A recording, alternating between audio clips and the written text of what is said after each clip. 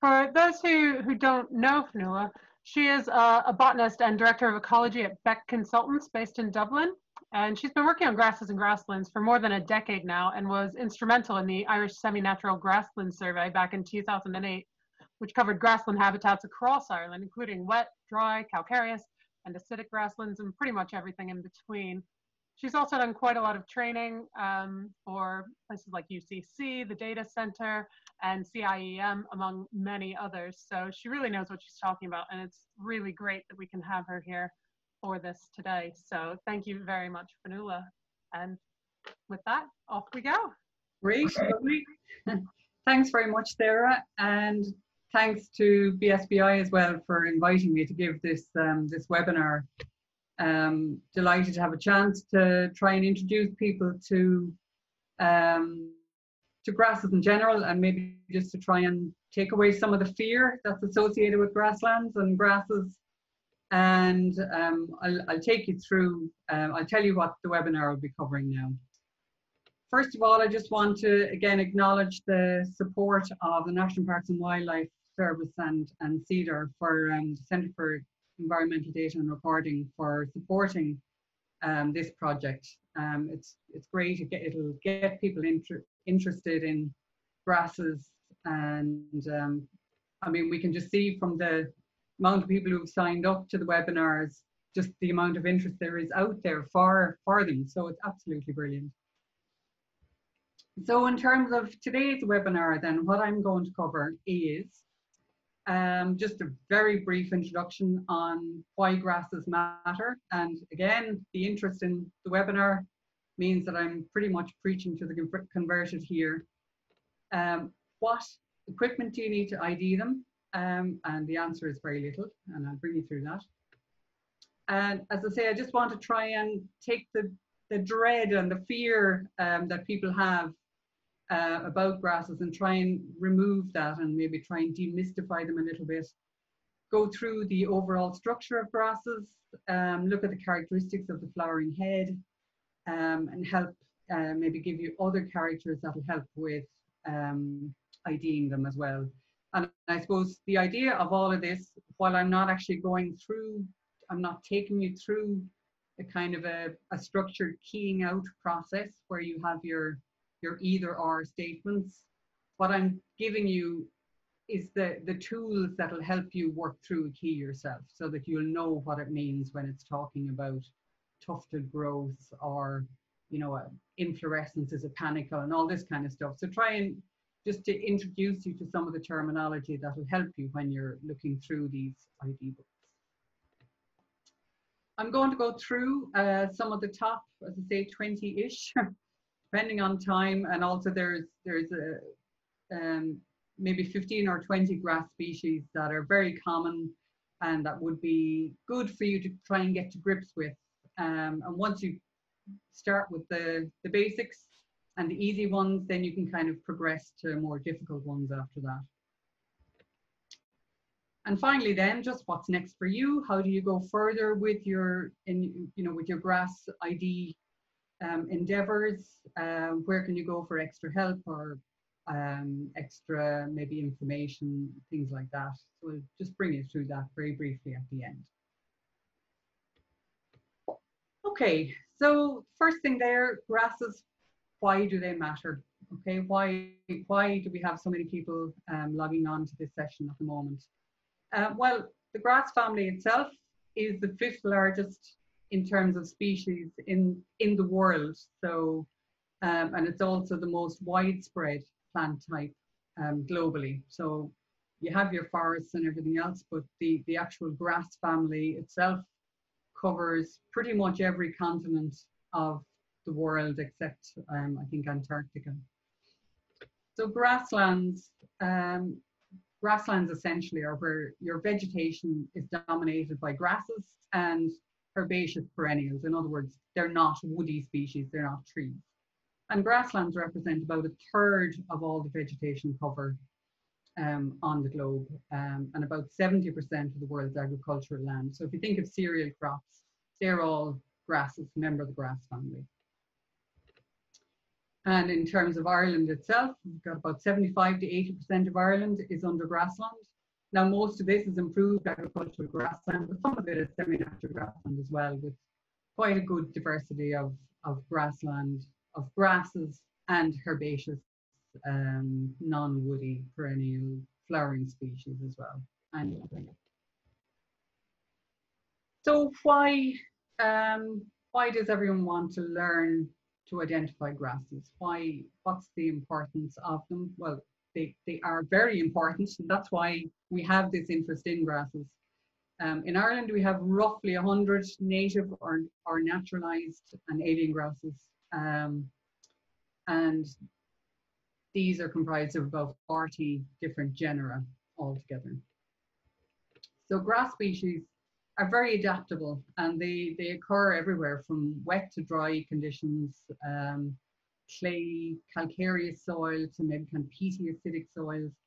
So these conditions that they grow on will determine um, the kind of grass species that you're going to find.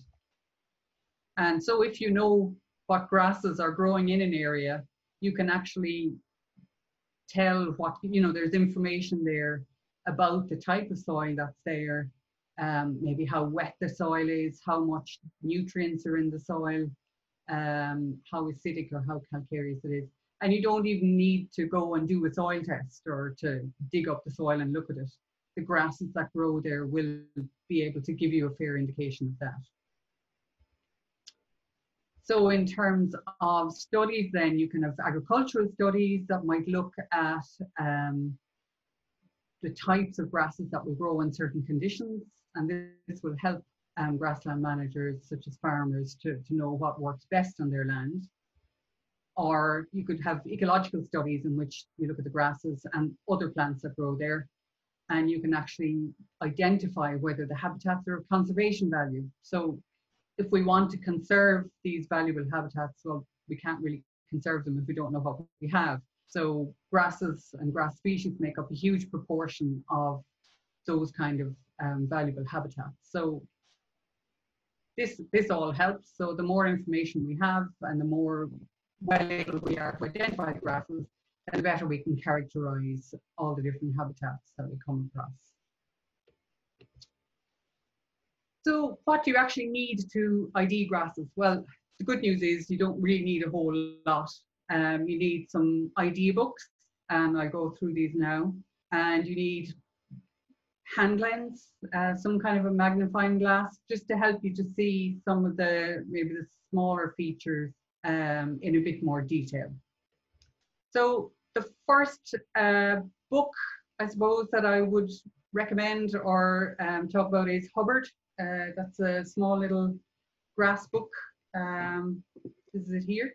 It's sort of it used to be an industry standard, if you like. Um, it's a bit out of date now. Taxonomically, things species names have changed, um, but it's and it's it's kind of out of print as well, so you might be able to get it secondhand. Um, but it, it has excellent diagrams and it's a, it's a good reference book. And I suppose the, the sort of follow up to it in a way was is the BSBI handbook, which also has great diagrams. It's tried to make the keys a bit more accessible, um, and it's it's definitely um, a great one to have if you're trying to get into grasses the um, National Bio, uh, the NBDC, National Biodiversity Data Centre. This nice small little book here, um, Identification Guide to Ireland's Grasslands.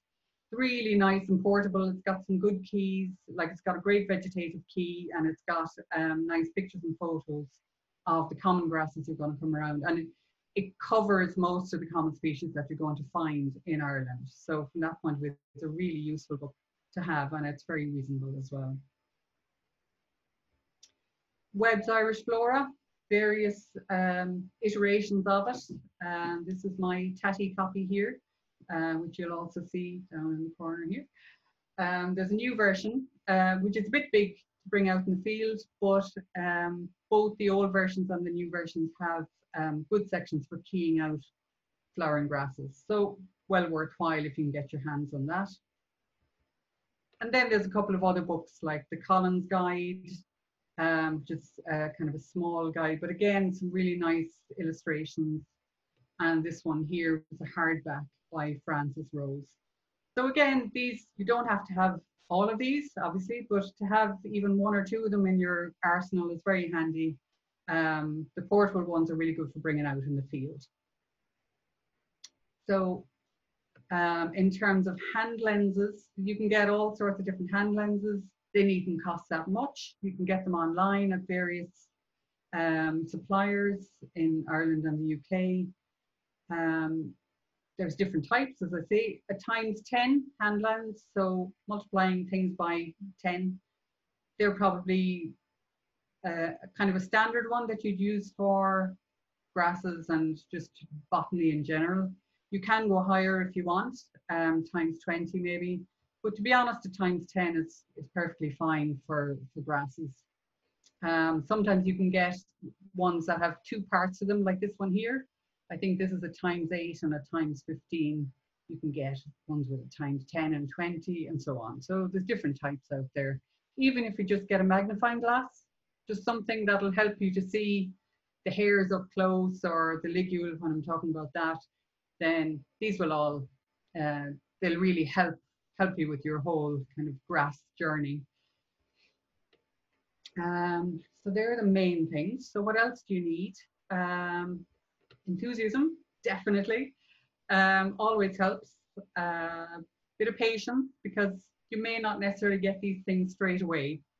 So just be patient with yourself, be kind, and uh, just bit by bit, things will things will work out. And finally, perseverance. You really do need to persevere.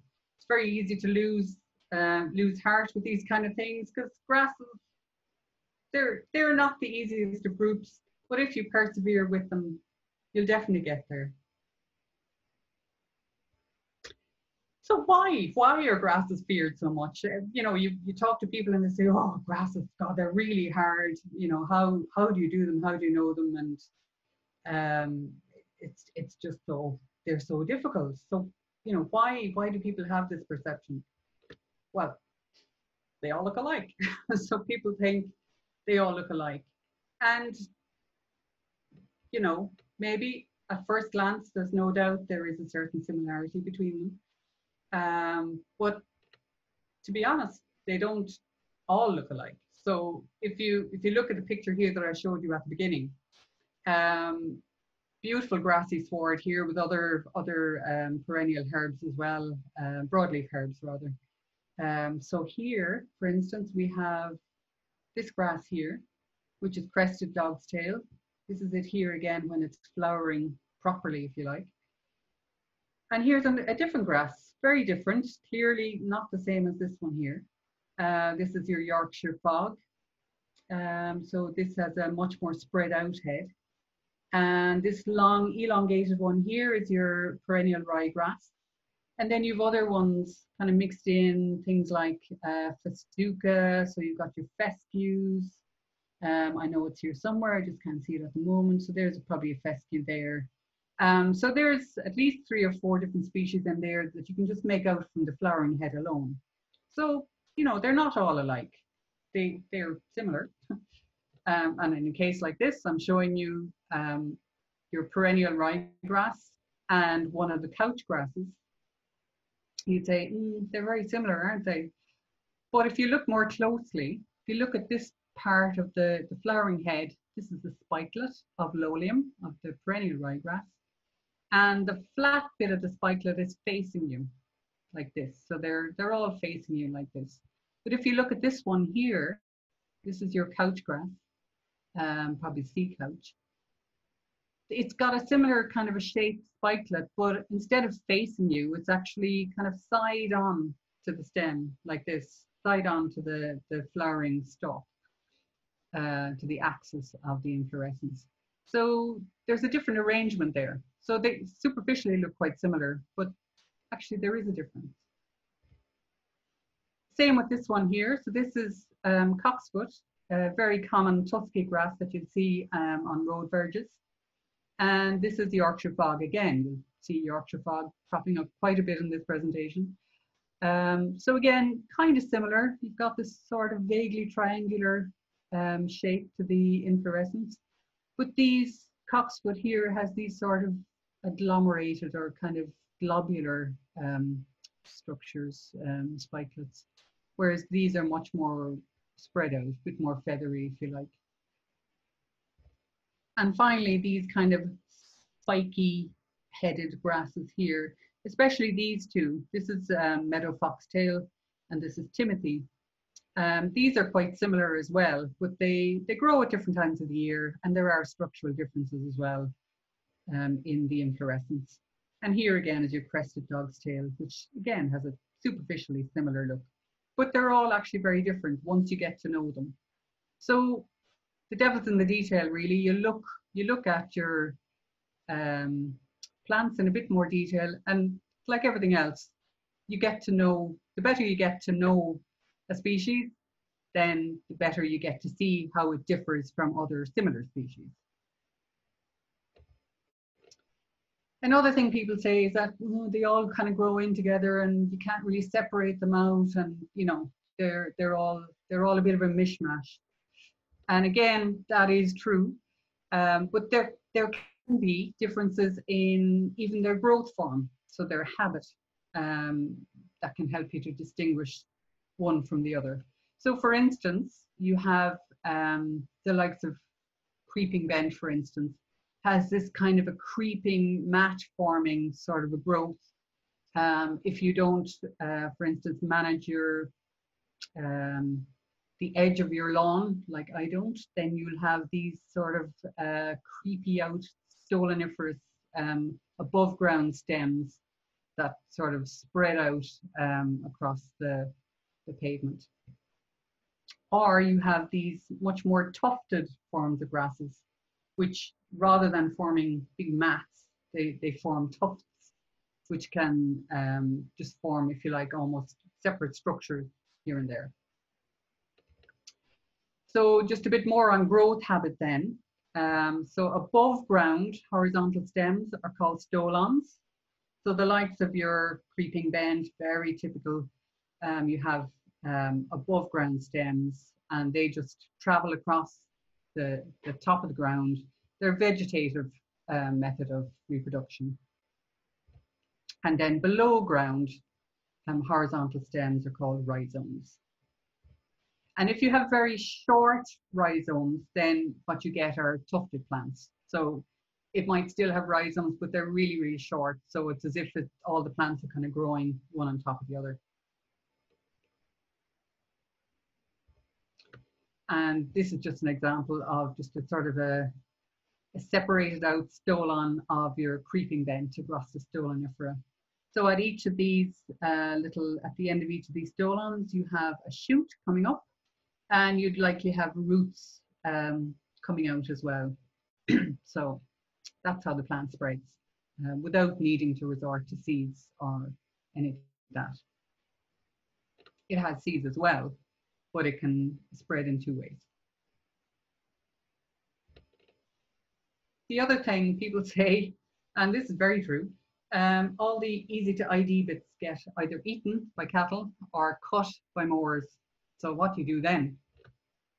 Um, and unfortunately, yes, that is absolutely true. And it's it's partly the secret of the secret to their success is because they are really quite um, robust plants. They they're constructed in such a way that they can withstand kind of cattle grazing them all the time, constant grazing, constant mowing. So the growing point of the plant is actually kind of almost at ground level. So it, even when it's cut back, it's able to grow again and grow again. So it's really the reason why grasses have spread so well throughout the world, particularly with the, the development or the, the evolution of grazers throughout the world. But even though you might, the, flowering part of the plant might be gone, there's lots of vegetative characters. So characters to do with the, the structure of the plant itself that can actually help you to ID them all year round, even when you don't have a flowering head. So I'm not going to poach too much on Linda's territory here. Linda Weeks is going to be giving um, the next two webinar, webinars will be on vegetative um, grass ID. And this again, this is while I'm giving you an introduction here, she'll be able to open up your world even more to, to what you can what you can ID based on just certain characteristics of grasses as well. So I will just go through, again, I'll bring you through the structure of grasses. So as I say, I'll just deconstruct them for you. And again, um, all the information I'm giving you here really is to help you when you go and look up ID books or look through a key and you're trying to work out what grass do I have, then the information I'm giving you here will help you with finding your way through those keys and navigating through them.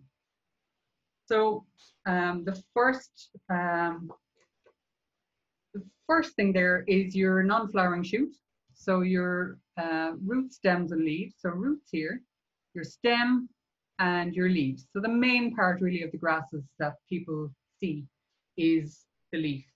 So the leaves attach to the stem. Uh, usually there's kind of a, a little bulge there. Uh, and then the flowering head may develop then later on in the season. And for instance, at the moment, June, July, great time for seeing grasses in flower. So it's a really good time to actually get out there and look at what's out there now. And you'll be able to see the differences between them when they're in flower. So the flowering head is also called an inflorescence um, and that arises from the top of the shoot. So the grass leaf is really important um, if you're trying to ID grasses, and it's in two main parts. So the first part is the blade, which is the flat part of the, the grass that we're used to seeing. And really it's kind of what we would generally refer to as the grass leaf. Um, but strictly speaking, what you're talking about is the blade of the grass, the, the leaf blade, also called the lamina. And then the second part is the sheath. So this is the bit that, if you like, wraps around the stem proper. And then at the very base of the sheath, the whole leaf joins onto the stem at the node. In between your blade and sheath, you have this area here um, and there's there's lots of stuff going on there um, in terms of ID um, or characteristics that will help you with the ID. So what's happening here? So here we have um, your stem, your, your culm, and your leaf coming off here. And where your leaf and your sheath join, you have a ligule. So a ligule is just like a flap of tissue, a little membranous flap of tissue usually. Um, and then you may also have this little, these little outgrowths uh, where the leaf blade and the sheath come together. And these are called, these are auricles. Um, they're called auricles because they, they're vaguely shaped like an ear if you use your imagination. So the auricles then, they can be maybe big ones uh, can be big, kind of pointy, clasping ones. Um, so the example given there is hordeum, which is barley, some species of barley. Also the likes of the couch grasses. Um, perennial ryegrass has kind of sometimes has very pronounced um, like that. Sometimes you can have hairs at the auricle and other times you have quite a big fringe of hairs and that can be diagnostic as well for certain species. So auricles are just little outgrowths that sometimes occur at the junction between your leaf blade and your sheath. And then just a little look at the ligule itself. The ligule is probably one, one of the more important um, characters, vegetative characters that is used in grass ID. Comes in all shapes and sizes. Um, it can be really long pointed like this as for example, uh, has a very pointed uh, ligule. It can be quite flat and maybe short like um, common bent. And let's have a look at this one down here in the corner, a rim of hairs. So instead of having a flap of membranous tissue, it's actually got just a rim of hairs instead. So nice thing about uh, ligules that are composed of a rim of hairs is that in Ireland, we only have four of them, really. So first one is heathgrass, Danthonia decumbens. Um, this is a diagram from Hubbard, which shows you the fringe of hairs of the ligule, and it, it's also quite hairy at the junction between the leaf blade and the sheath. And this is a photo of it here. So really very hairy here, hairy there, but even across the ligule here as well, you can actually see that instead of having a flap of tissue there, there is actually fringe of hairs. Purple moorgrass, very common species on kind of uplands and heaths and maybe um, overgrazed heaths as well. Um, again, very distinguishable by the habitat, but particularly also by this fringe of hairs for the ligule. Common cordgrass, which you'll find on salt marshes. And finally, the common reed, Phragmites australis. So, so yes, so once you see a ligule composed of a fringe of hairs, then basically you know it's one of those four. So this is another ligule here. This is one that is a, a uh, definitely a membranous um, flap of tissue. So the other thing um, that you could look at um, on your plant uh, around the leaf and the sheath is whether there are hairs. So sometimes there are kind of hairs either on the leaf blades or on the leaf sheaths or on both, or it may have it just on one and not on the other. So again, these are all kind of diagnostic characters or characters that will at least help you identify is it this species or is it another one? So let's look at the flowering head then. And as I showed you there in the earlier slide when I was looking through the different um, types of grasses in that beautiful sward, um, you've got two main types of flowering head. So the first one is called a spike. So a spike has very simple kind of an arrangement here.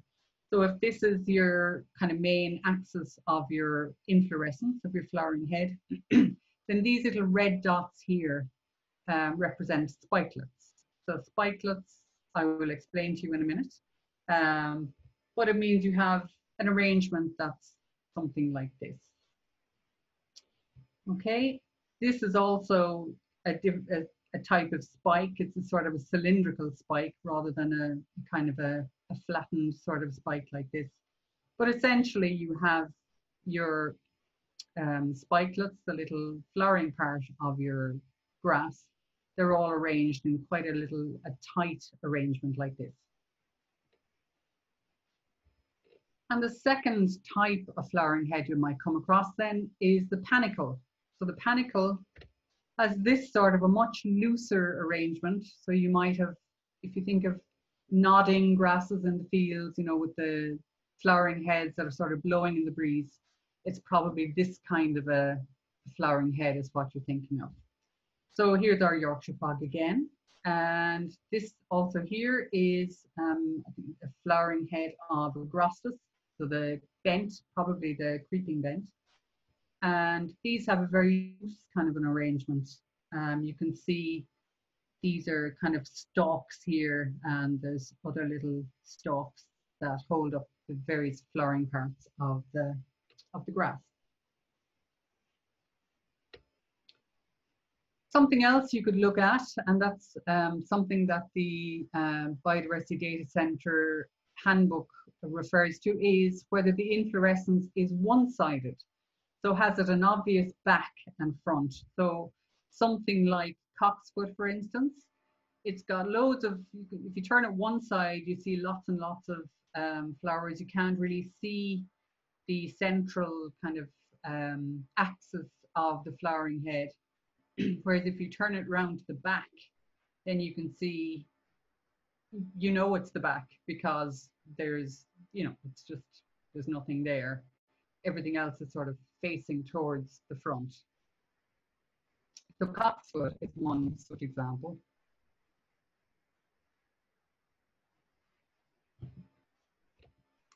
And crested dog's tail is another one. So again, we saw that in the slide earlier on.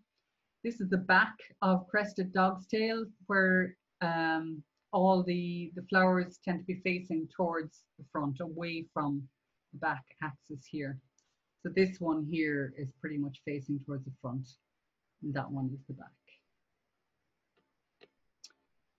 So let's uh, drill down, if you like, into the inflorescence and have a look at the constituent parts of this. So this might all seem quite technical, and I will agree it, it kind of is, um, but it does again, as I say, my my aim is to try and help you through um, a key or an ID book, so that you'll know what the the author is talking about when they're throwing out these terms.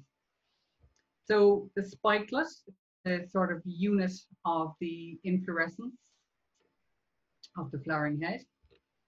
The rachis is just the central axis onto which the spikelets are joined. and then your spikelet may be attached to the rachis with a tiny little stalk. So this here is your small little stalk. Or, as in the case of the Lolium perenne, the perennial ryegrass here, the spikelet is actually attached directly to the rachis and there's no little stalk at all. So these are called sessile or unstalked spikelets. So if you have a pedicel, if you have a stalk, then usually what you'll be looking at is some kind of a, a panicle rather than a spike.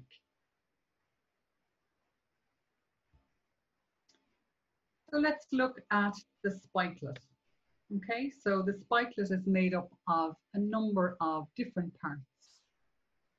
And essentially your, your one spikelet here is it's got two kind of scale-like, leaf-like things at the bottom, which are called the glumes. Um, so you, you've got a lower glume, which is the one right next to the, the stalk, and you've got an upper glume. And if you like, these enclose the rest of the spikelet. And within the glumes, are encased, you know, more or less, um, by the glumes, you have one or many different florets. And these florets are what actually hold the flowering parts of the, of the plant, of the grass. I'll come to the awn in a minute, which is the bristle. So this um, hairy brome here is quite a nice example. You can see your spikelets there. So they're there's your pedicel, that's your little stalk of your spikelets. Um, each of them here, you've got your lower, your upper and your lower glumes at the very bottom. And then you've got a number of florets that are enclosed within uh, those two glumes to form a single spikelet. And you can see very clearly that there are um, lots of bristles or awns coming out of um, the top as well. so I quite like this little diagram here. Um, it's sort of, again, showing you the constituent parts of the, the different parts of the spikelet. So here's your spikelet in its entirety. That's your, it's made up of two glumes, your lower glume, your upper glume.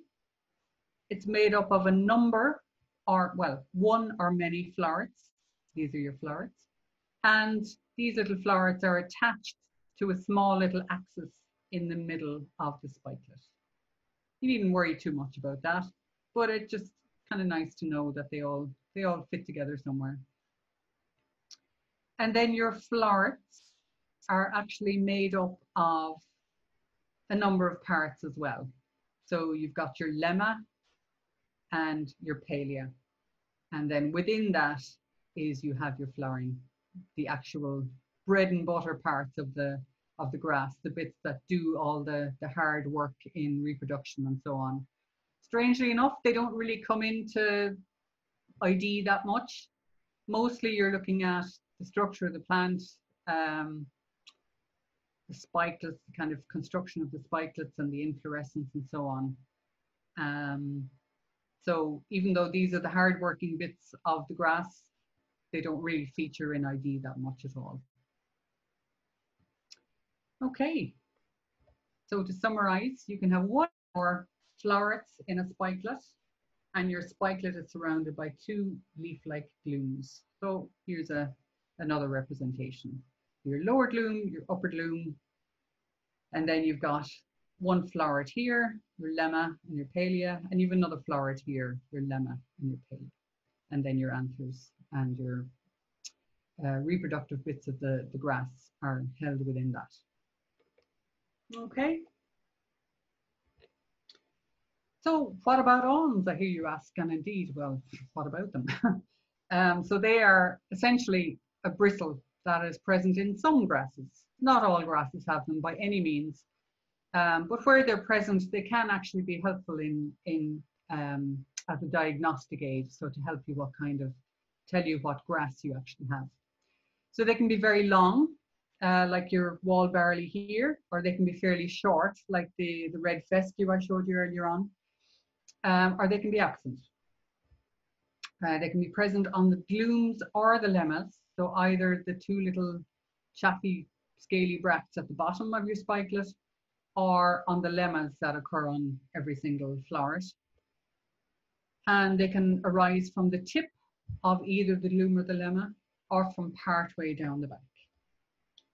And as a final twist, they can be straight or they can be bent. So here's an example here, uh, your false oat grass. Um, so the awn is long and it's bent uh, and it also arises part way down the back of the lemma, about two thirds of the way actually down the back.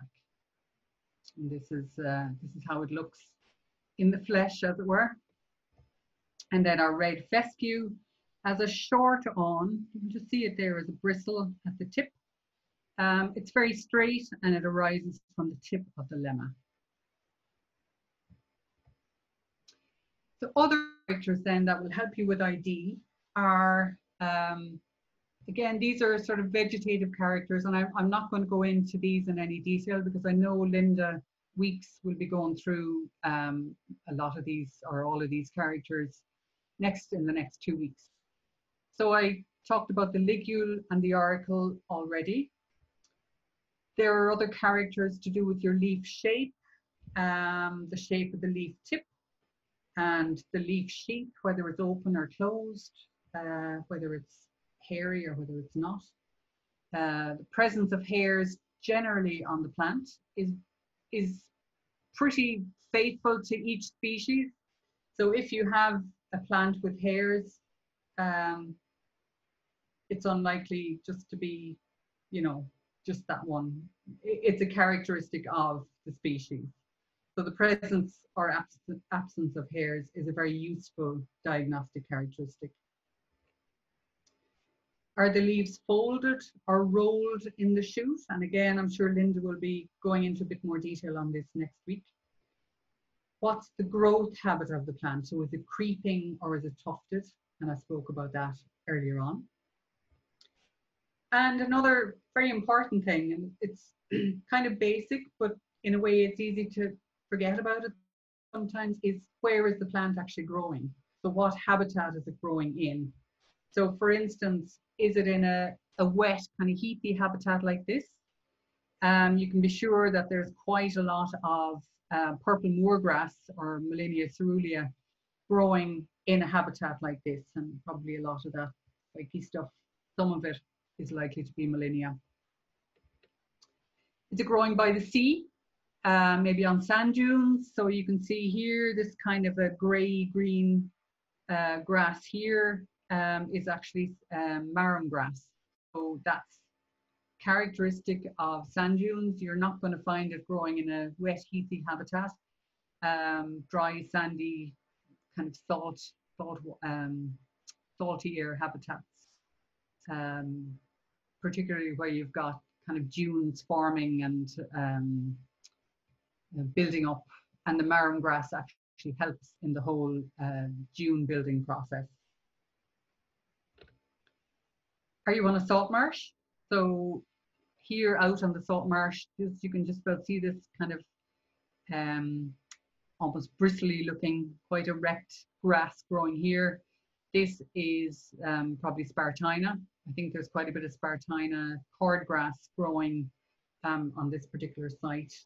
Uh, and then you've got other grasses that may grow at the edge of salt marsh, like, um, for instance, your common couch and your red fescue. They're actually very common in salt marsh areas as well, particularly on the upper marsh.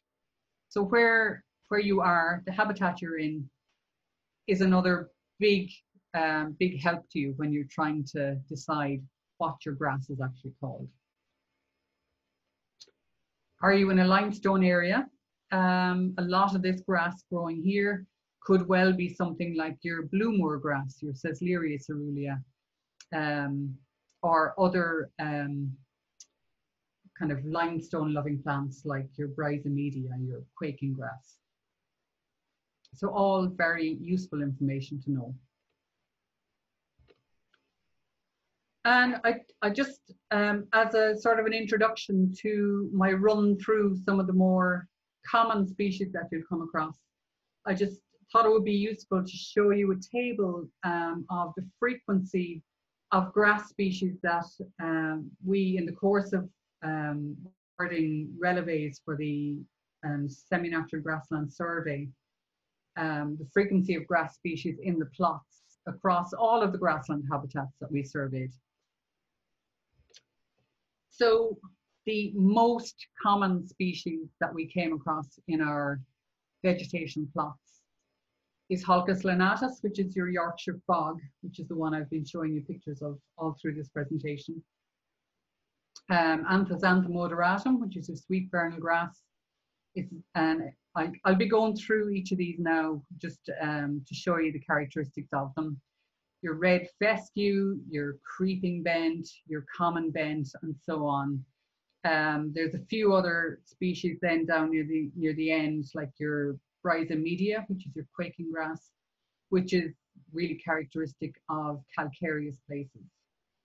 So there's quite um, definitely the first five or six, um, actually probably the first 10 of them are really common ones that you, you could find just walking around your local neighborhood um, in even some kind of amenity grassland or slightly rougher areas of unmown grassland that some of the councils are leaving now as well.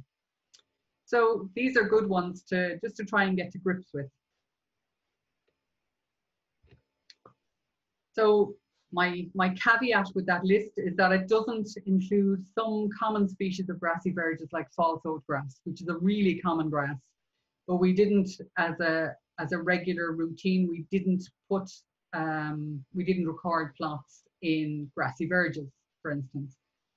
Um, it doesn't include um, common species like annual meadow grass, which tend to grow in improved amenity grassland or kind of trampled places. And it also, that list doesn't include species of sand dunes and salt marshes and, if you like, non kind of classical grass, grassland habitats. But in terms of grasslands, these are your main, your main species. So if you can get your head around even the first 10 of those, you'll be doing well. So let's um, just, I'm going to go through each of these species in turn just to give you some of the characteristics of them and that would maybe help you to identify them later on. So if you're going out for your walk later on today, you can kind of look and study the plant in its entirety and say, oh yeah, look, I can see that character there. Um, that's what she was talking about with the, you know, hairs on the leaf or the sheath or whatever.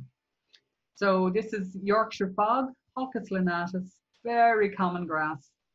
Um, it's hairy, so it's hairy on the sheath and it's also hairy on the leaves. It's quite downy. Um, it feels quite furry.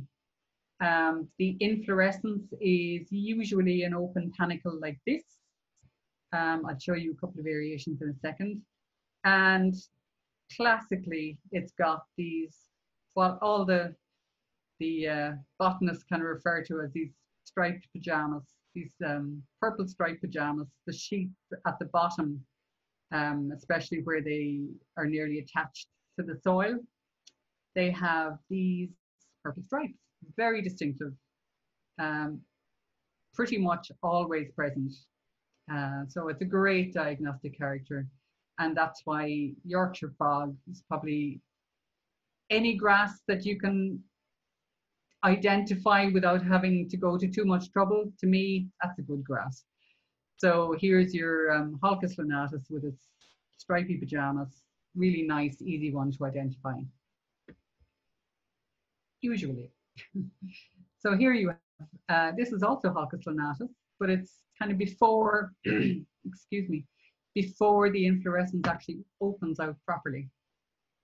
This is it when it's open. And this is it either as a kind of a white form or sometimes later on in the season it has this kind of a tired whitish look to it as well. So how old your inflorescence is can affect how it looks. And we'll see that in a second as well with um, creeping bent. A very similar species to Holcus lanatus is this creeping soft grass. And this is another one that botanists love because you look at it and you see, oh, look, there's hairs on the node. So everyone goes, oh, hairy knees. So hairy knees is a great characteristic for Holcus mollis. It's an awful shame that it's not all that common because it's just so nice and easy to identify when you see it. You just know, gosh. So you could have maybe hardly any hairs here at the top part of the sheath, hardly any hairs maybe below the node, but on the node itself, you've got hairs and it's just such a great diagnostic character, uh, really useful. You've got a, a, plant that looks like Yorkshire fog but has hairy knees, then you're talking about Holcus mollis. Now, sweet vernal grass, Anthoxanthum odoratum, very um, common grass really as we found in, in semi-natural grassland. Um, it can be quite variable in that this is it when it's young, this is it when it's just past flowering, and this is it when it's dead, um, kind of in the, probably about this time of year. Um, it actually, it's an early flowering species and it dies off quite early. Um, but the big diagnostic character with it is these hairs at the junction of the leaf blade and the sheath. So sometimes it kind of has sort of pseudo auricles, kind of outgrowths a little bit. But the main thing is that it's got hairs at the junction of the sheath and the blade. Not necessarily on the ligule itself, but at the junction. So it's called a bearded ligule. So there are hairs where the ligule meets the blade. And also, if you crush it, you get this kind of lovely smell of new mown hay. And it's basically what gives new mown hay its smell. Um, so that is another nice characteristic of that particular species. Red fescue, very common. Um, it's got bristle-like leaves, so very narrow, um, quite folded. It's very common in lawn mixes now. Um, and the diagnostic character, one of the diagnostic characters is on the vegetative shoot. This is important, not the flowering shoot. Your leaf sheath, we show it here, your leaf sheath is closed. And there are also hairs on the leaf sheath as well. So important to remember that this sheath character is for the vegetative shoot only. Once it starts flowering, then it actually kind of rips through the sheath. So it can look like it's open, but it's actually closed. It's completely sealed. And red fescue can also form swathes on coastal headlands. This is all red fescue. Beautiful. So it can form these kind of springy turfs, um, really kind of a springy surface um, on coastal headlands. Creeping bent, very common grass uh, extremely common and grows practically everywhere. It usually grows in kind of damp places, but you will also find it in dry places. Um, it gets its name, stolonifera, from the fact that it, it forms these stolons, so these creeping over, over overground stems from which a new plant arises. So this diagram here from Hubbard um, shows how the inflorescence actually contracts when it has finished flowering. That can be a useful character um, if you come across the grassland in maybe July, um, maybe August with um, flowering heads are still present, um, but they're all quite contracted like this, then it could well be Agrostis stolonifera. And if you see this kind of creeping sort of growth form, then that's quite likely. Um, it's got quite a long ligule, um, maybe not always as obviously pointed as that. Usually it'll be quite ragged, so not necessarily as neat looking as that. Um, and you, it, it can grow in very wet places as well. So you will sometimes find it almost as a, a floating thing at the edge of maybe a, a pool of long kind of semi-permanent water. But it's so common. Um, and it doesn't really have a huge amount of really distinguishing characteristics, which um, doesn't really help. Um, Agrostis stolonifera and Agrostis capillaris, so your creeping bent and your common bent are quite similar. Um, but Agrostis stolonifera tends to have um, that medium length of ligule. So this kind of a ligule here, but I would tend to think of it more as being quite ragged. Um, whereas Agrostis capillaris has a much shorter ligule. Um, the other thing is that, as I say, Agrostis stolonifera, the inflorescence here contracts after it's flowering, so it, it sort of closes up whereas that does not happen with Agrostis capillaris. And that's actually quite a, a useful character in the field. Crested dog's tail, really distinctive in flower. Um, there's nothing else really that looks like it in Ireland. Um, very distinctive. Uh, when it's not in flower, it's actually quite, it's a bit ho-hum, it's, it's quite generic, so it's quite hard to distinguish from other grasses when it's not in flower. But again, I'm sure Linda will give some nice characters on that later. And perennial ryegrass then, your Lolium perenne, um, which we had a look at earlier on. You've got your spikelets here, they're flat. And there are sometimes auricles at the, well, usually there are auricles. They may not be very big at the junction between the leaf blade and the sheath. And the other thing is that the back of the leaf is really glossy and it gives Lolium fields their kind of characteristic shiny appearance when the wind is blowing through them um, and the sun is shining on them. You just see this sort of shine in the air. Um, and the leaves are actually also quite strong and quite twangy. So if you pull them like that and sort of snap, it almost makes a twanging sound without breaking. So they're quite strong leaves. Now I'm conscious of time here. Um, it's nearly 11 o'clock, um, but I am going to press on with a couple of more species and then I will finish um, just with some advice on, if you like, going forward. Um, so I'll just push through a few more of these species and the rest of them will be available on the recorded version anyway. So cocksfoot, uh, Dactylis glomerata, again, a really common species um, particularly in hedgerows or hedge banks, uh, grassy verges and so on. It forms these big tufts and the, the shoots are very flattened as you can just about maybe make out here. Um, the color of them is a bit more blue-green looking than, than this would indicate. Um, and the ligule is very long and pointed. Now this isn't actually a great picture of it in that it looks quite tatty there if it was um, a typical um, unbroken ligule of Dactylis glomerata, you would see that it, it's quite tri triangular and pointed and it's maybe up to here. So it's really long. It's like 0.5 or even one centimeters long. And it's very distinctive as a grass. Again, there's nothing else really that looks like it. Poa trivialis is a rough meadow grass. Again, you'll find that quite a lot in unmown grassland, um, particularly in the likes of parks, um, county council parks and so on, often in quite damp places. Um, Poa trivialis has a lot of teas going on. It's, it's quite a triangular plant. So the inflorescence is particularly triangular looking. Um, it's got a triangular pointed ligule, you can see here. The leaf is triangular because it's sort of broad at the bottom and then tapers gradually towards the tip.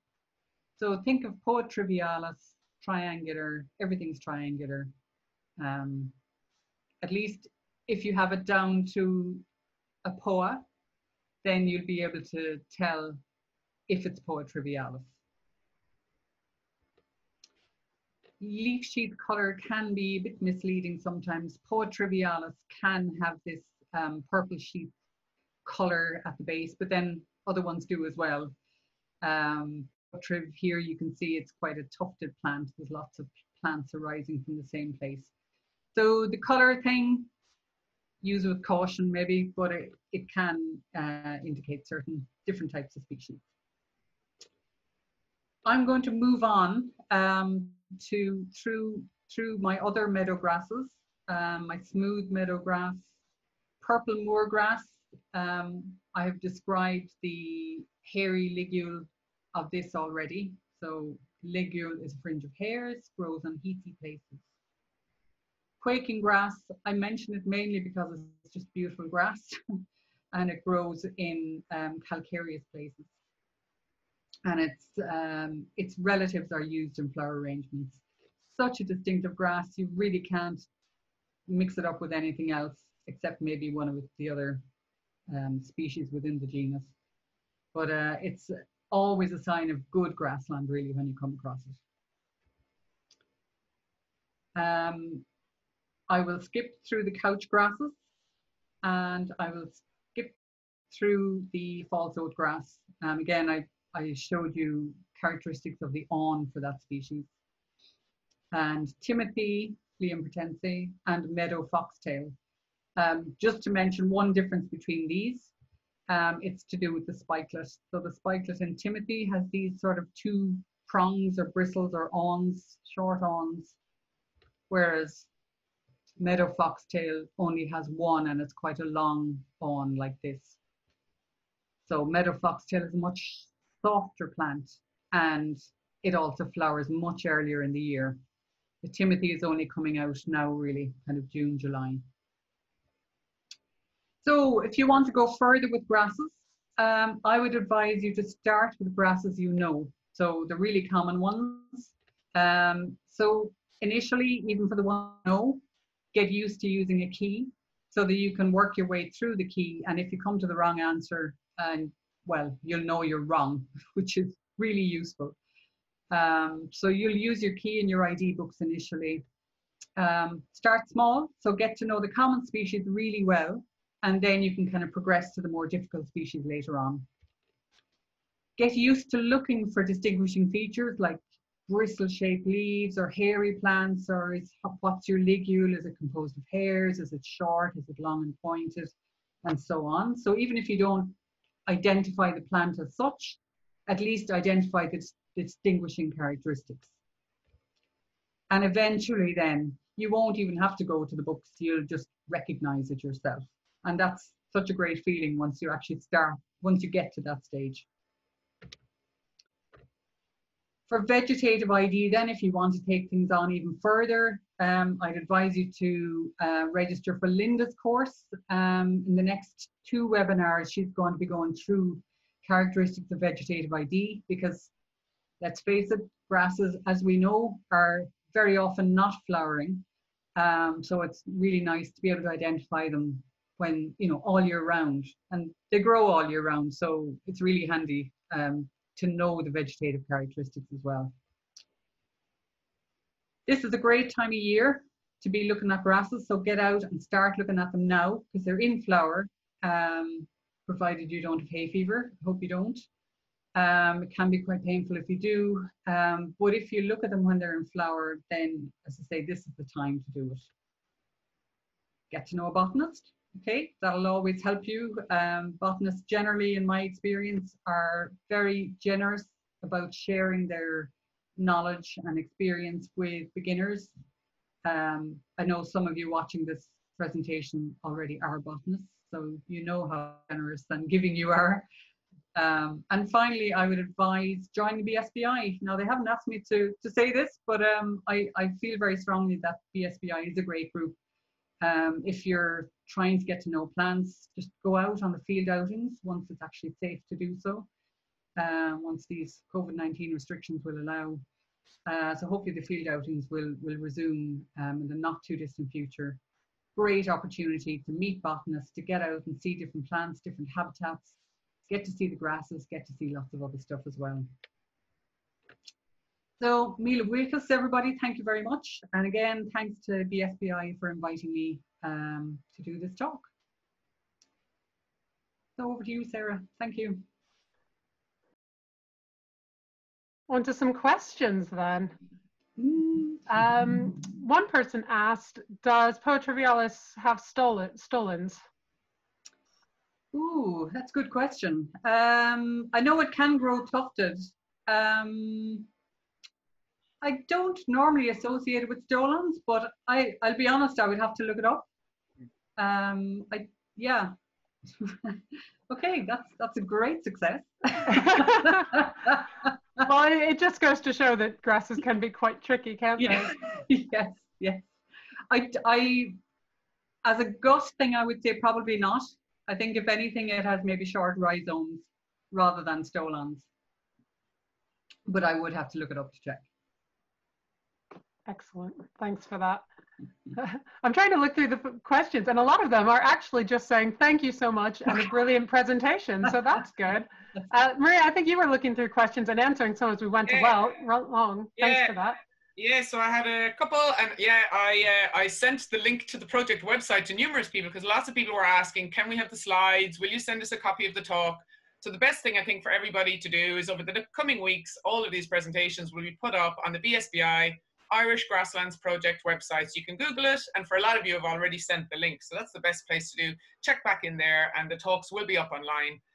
Um, a couple of questions that, because they were coming in thick and fast, Sarah, and you had a lot going yeah. on. So there's two questions that might be useful to put to Fionnuala. And again, don't worry if you can't answer them, Fionnuala. But one, a couple of people were interested in knowing more about how the grasses tell you about the soil, both condition and the nature of the soil. Mm. Somebody was asking, are there any good books or resources where they might find out more? Um, well, there. I mean, there are things called, you know, Ellenberg values, which, um, if you like, assign a value to plants depending on whether they're good indicators or whether they indicate high, we'd say high nitrogen or um, acidic pH or whatever. Um, I don't know, Marie. Do you know of any publications yourself? I mean, off the top of my head, no. The Ellenberg uh, would be so E L L E N B E R G. If people yeah. Google that, there's a, a, free to download publication. It's a little out of date now, but the uh, the contents still stand, and it mm, tells you, absolutely, says, yeah. tells you for all the different plant species, not just grasses. It tells you whether they like light or shade, mm. high nutrients, low nutrients. High moisture or dry sites. So it's really fantastic if you want to know about the characteristics. And when you've got a suite of grasses or plants in an area, mm you can then look at the Ellenberg values and that tells you together, gives you a picture of the soils and the conditions of a site. So yeah, that's the thing that will come to my mind first off. Yeah. But I'm yeah. sure there are, I'm sure there are, we can never think about that. I'm sure there are um, some publications out, out there that, yeah. that, are more like that's a book of tables. So you want to mm. really know what you're. Uh, yes. You want to really be into the data to look at that. It's not complex, but it is data based. I'm sure there's some uh, verbal text out there that, that might. Yeah, and I mean certainly in in the the plant books and so on, they would they would indicate whether the plant tends to grow in calcareous conditions or. Yeah. Um, you know, peaty conditions, acidic or whatever. So usually there would be some indication um, in the, the plant ID books themselves. Sorry, just just to hark back, um, because this this spoke to me then about the Poa trivialis. Um, apparently, it has creeping leafy stolons, but uh, ah. it's loosely tufted. Yeah. So, um, yeah. to me too. For hey, who knew? But you Um, what's- do Yeah, what's some, someone did point in the questions that according to Stace, it says often procumbent tillers, some becoming stolons. Right, There you there So you there go. you go. The girls, you both have your class books beside you right there, yes, do you? I don't, but Teresa Higgins does in the uh, question session. So thank you for that. There was a second question that might be of good broad interest as well. Somebody was asking about any online apps that you might recommend for identifying grasses. Um, yeah, I mean, there there are well online keys I think you can guess, but um, does the BSBI have a grass key? Oh, Um, I've put some uh, resources that are available. There, there's a grass handbook. But, Yeah. um, in terms of online resources, it's a bit limited. Yeah. I have to. I'll be honest with you. I don't tend to use the online resources myself, so I'm not. I'm not well up on them. I I will put my hand up and say I'm not well up on them. I tend to use the books all the time, um, because you usually need to get into the nitty gritty and um, you know. That, And I would that's- say- that's what I use. think, Fionnuala, a lot of the time, uh, I'm very, uh, you probably have the same thinking as me. A lot of the time, there is no substitute for being there in the field, looking yourself, smell, you feel, you touch, you pick, you see Yeah. the context. And a lot of that context is missing if you take a photo and put it into a, an app, and particularly Yeah. for grasses where the features are subtle. They're small Yes. and they're subtle. So I think, yeah, there, there may very well be good tools, and we'd be delighted to hear about them, but Yeah. it's one of the groups that perhaps the nuances that a human eye and brain can, can Yeah, on are, are very important. No, still. just, I mean, there are apps like, uh, sorry, the, Yeah. there are some apps um, we found, well, others have, have found that the Seek app, for example, is good at not giving you inaccurate answers. So it won't tell you a wrong answer very frequently, but it might not get you to species. It can, however, perhaps help you get to genus to help you narrow down Yeah. what you're looking at, at the, in the key. Yeah, which is Um, very. but with any online app, uh, whether it's for identifying grasses or anything else, you should always be going back to the key and double checking Mm. because errors do creep in. Yeah, and and it's it can be quite location specific as well. So some keys might be, um, we'd say online keys, might be geared for we'd say Europe. I don't know. Um, whereas we only have quite a small suite of species here in Ireland, so we're dealing with much fewer species, with maybe very a lot of variation in, in, in certain conditions as well. So you just maybe have to be conscious of the limitations of these things as well. So. Excellent. Cool. Have you spotted other questions, Sarah? Uh, well, there was someone was asking about um, are semi-natural and improved grasslands the same, or or how are they different? No, Uh, no. So ex- semi-natural grasslands and improved grasslands are very different things. So when we talk about improved grasslands, we're talking about agriculturally improved. So agricultural improvement involves things like fertilizer, maybe herbicides, usually drainage. So a very altered kind of an ecology going on there. And the, the impact of applying fertilizers and slurry and so on is that it favors the more competitive grasses um, and knocks out the, the more sensitive ones, like we'd say um, Briza, so quaking grass. You're not going to find that in a sward that's been that's had slurry applied to it. So semi-improved grasslands, or sorry, semi-natural grasslands are ones that we don't really refer to natural grasslands in Ireland because usually there has been a certain amount of modification has gone on. Um, but by and large, they're kind of, they haven't been reseeded, they haven't been ploughed up. They're, they're natural and self-sustaining, if you like. Um, they may still be managed, so quite often they're managed by grazing or by mowing. And grasslands in Ireland really have have to be managed because if you don't manage them, then they eventually start reverting to scrub or um, usually to scrub actually. So grasslands need management, and I think that's a very important point to get across as well. Um, people sometimes might think, oh, we're better off just to take the cattle off and stop mowing and everything else.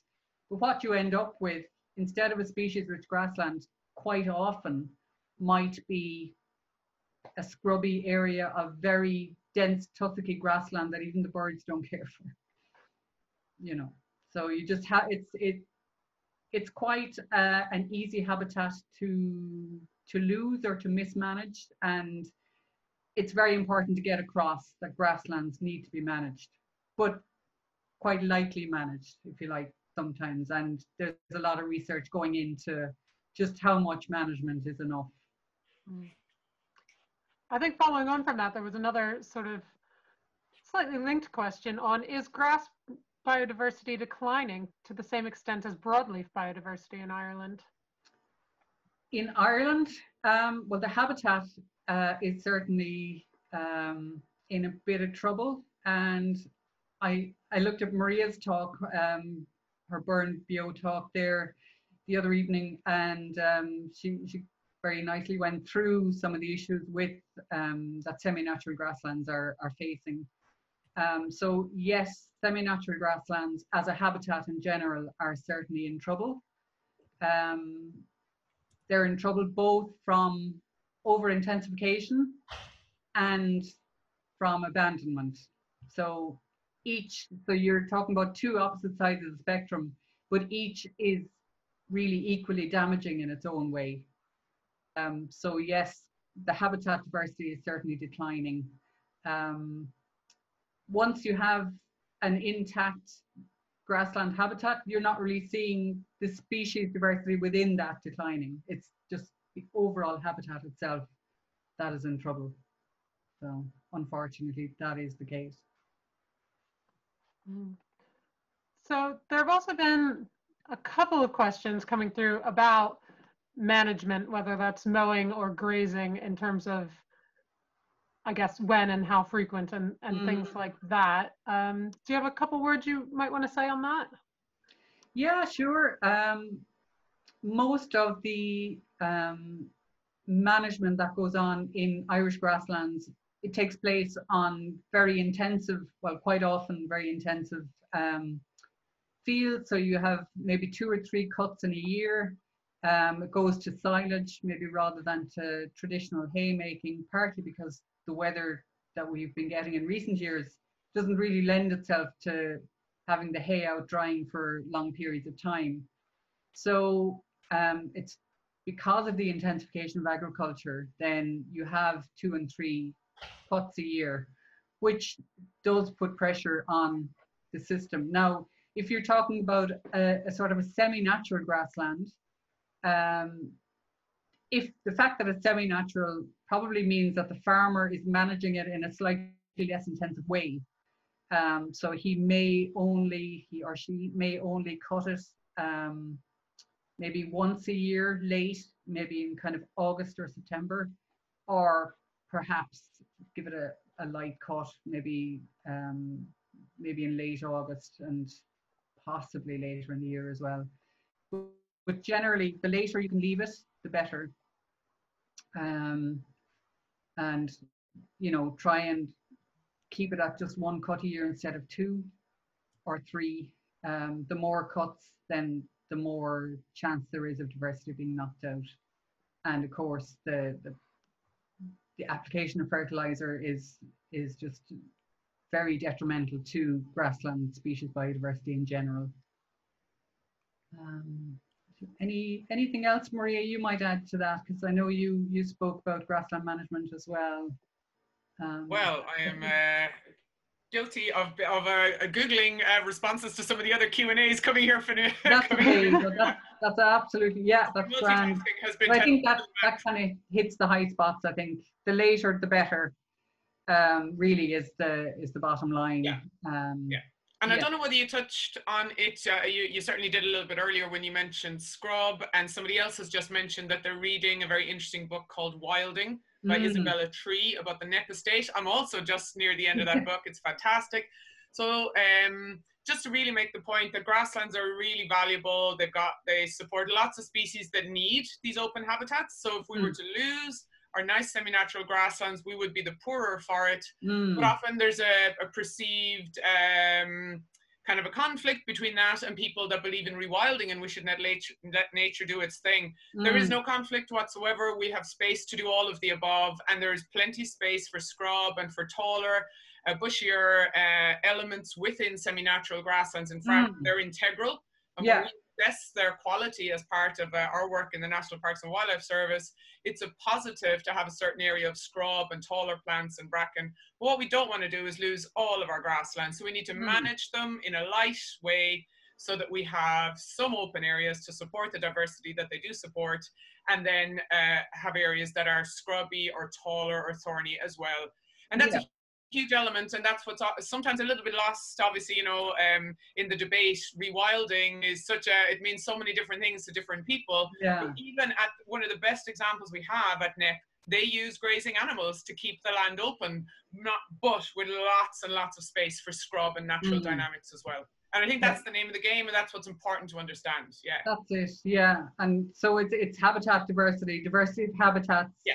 Between yeah. habitats as much as diversity within your habitat. So yeah. more, space for natural yeah, processes. Absolutely, yeah. yeah.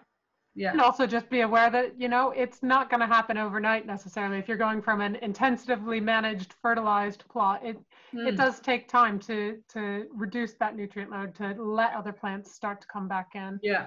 Um, so cut cut and remove is basically if you want to try and get yes. something back to semi-natural grassland without receding we'd say. So if you want to take a, a slow and steady, uh, well, a slow route, um, then cut and remove the cuttings. And um, again, from um, I know Maria mentioned in her previous talk about using yellow rattle as well to maybe because what that does is it's a, a sort of a, a hemiparasite of grasses. So it it kind of knocks back the grasses a little bit, makes them a bit less competitive so maybe gives a chance to other things to to maybe come to the fore a bit and just gives a bit more chance for diversity to re-establish yeah i might just take the opportunity to mention because a couple of people have asked um, it and, it and it ties in so nicely with this. I gave a talk a couple of weeks ago as part of the Burrenbeo Trust series of webinars. Uh, well, actually, sorry, it was part of the Burn and Bloom Festival, but also for Burrenbeo Trust. So if anybody wants to find that, there's a link on the BSBI Grasslands uh, project website. But also, if you go to YouTube and put in Burrenbeo Trust, the talk comes up, and it's called "Semi-Natural Grasslands: Our Precious Resource," yeah. something like that. Um, so it, it, it, gives a re, uh, I think it gives a nice background into different types of grasslands. So if you want to, you know, if anybody's interested to get the background, looking at the habitats, uh, the bigger picture rather than the species, it's it's uh, well, yeah, like it's I'm a really good talk. I'll blow your trumpet. it was a good talk. um, so slightly changing uh, tack for just, I think we'll just do one more question because we don't want to overload people, but I will try and write up a summary of some of this session yeah. for people as well. Um, although probably not by next week to be realistic. uh, but people were asking about the value of recording grasses in urban and suburban areas and and reporting them and that sort of thing. Yeah, absolutely. I mean, all recording is good recording. Um, we need to know what's in our cities and our towns and villages as much as anywhere else. Um, as I say, if you, if you don't know what you have, you can't conserve it. Or you know, if you know the the constituent species in in a an urban grassland, for instance, I mean, you could find, God, there's 20, 30, 40 species in there.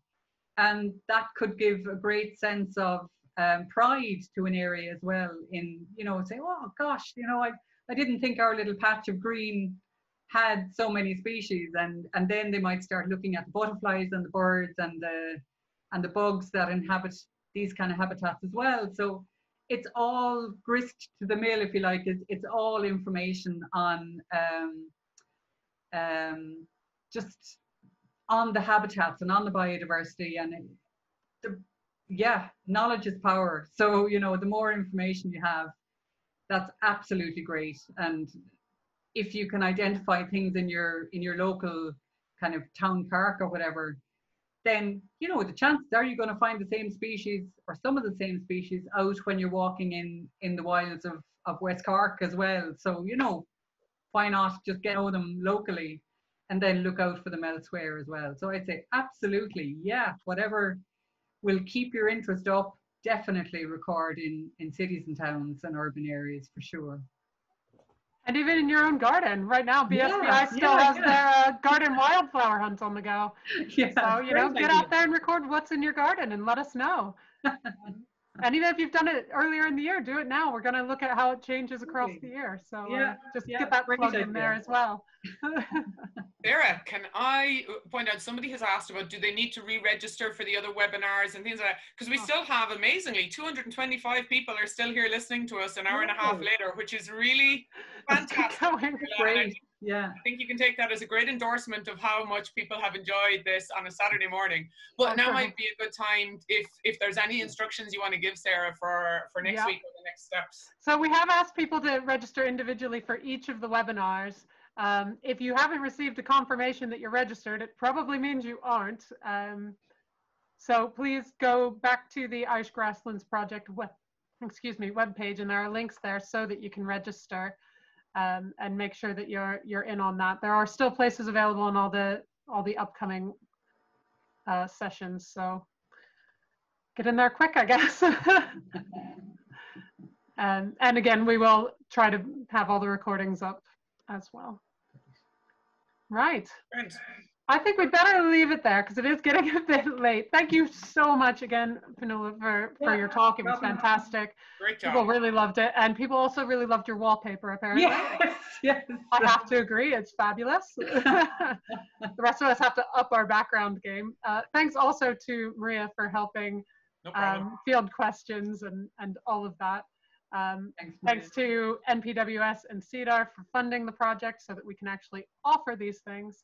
Uh, if you in the audience are, are finding this useful um, and want to support BSBI and have access to other opportunities, please consider joining.